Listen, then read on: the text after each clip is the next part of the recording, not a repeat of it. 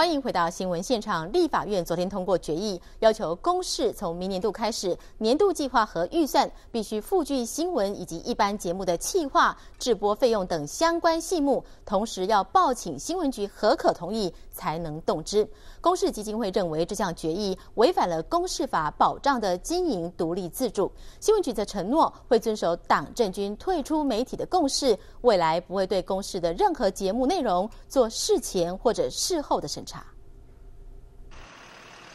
目前公视的主要营运经费是来自政府每年捐赠九亿元。不过，立法院教育委员会九号通过国民党立委林义士的提案，决议中要求公视从明年度开始，年度计划和收支预算必须附具新闻与一般节目的企划、制播费用等相关细目，而且要报请主管机关新闻局核可同意才能够动支。由于现行公示法规定，送交新闻局的年度计划和预算，并不需要新闻局事先核可节目内容。公示基金会认为，立法院这项决议已经违反公示法保障的经营独立自主和党政军退出媒体的精神。今天，公示在四大报刊登半版声明，表达反对不当干预的立场。它应该是属于全国人民的电视台，而且其媒体的的经营的独立自主性是。不容不容干预的。如果要他同意才能直播，那他一不同意，那这个这个节目还做得下去吗？公司记者今天分别透过电话与当面约访提案的立委林义士，不过都被林义士婉拒。而同属教育委员会的国民党立委林德福、杨琼英则表示，立法院掌管公司预算，就节目内容进行监督，并无不妥。今天难道民意机关只给预算，而不能让他的主管机关来做适度的？监督吗？难道只给钱，其他都不能过问吗？到底是有哪一些政治力介入的事实，我们也要请公示具体提出。另一个争议是，公视今年九十七年度下半年的四点五亿预算已经遭到立法院冻结长达十二个月，立法院也没有说明冻结的理由。公视经营阶层今天证实，在拜会立法院争取预算解冻的过程中，的确有立委对公视的新闻和谈话性节目内容表达不满。最主要的不满，当然就是说，为什么呃我们的谈话性节目要去批评政府的一些政策、一些施政？那甚至认为我们的节目在邀请来宾议题上的设定是不是有有政治倾向？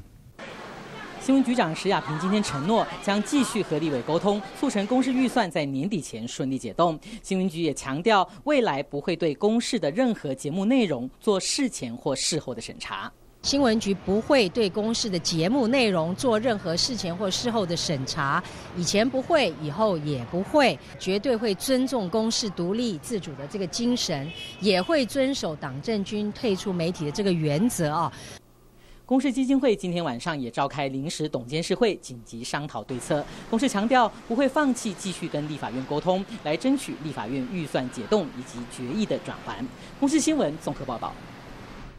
面对立法院这样的附加决议，三十多个社运团体今天下午展开联署，发表社运声明。台湾媒体观察教育基金会以及媒体改造学社联名发表声明，提出抗议。他们认为政府不应该控制公事，这是大开民主倒车。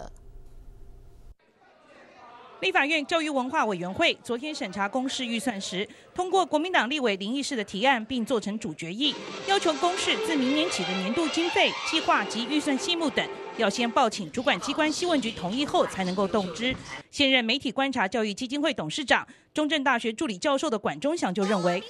立法院的决议违背了马英九总统就职演说时所强调绝不干预媒体的承诺。我觉得，呃，立法院这种做法是帮政府控制公司开了一扇大门了，完全违反了马英九总统在就职典礼的时候说啊，这个所谓维护新闻自由、不控制媒体的这一种承诺哦。我觉得这个其实是大开民主倒车。